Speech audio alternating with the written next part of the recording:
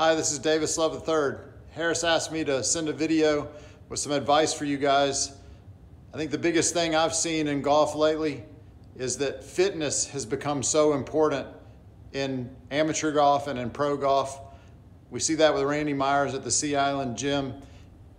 He's built me a really nice gym in my garage so I can never be too far from working out.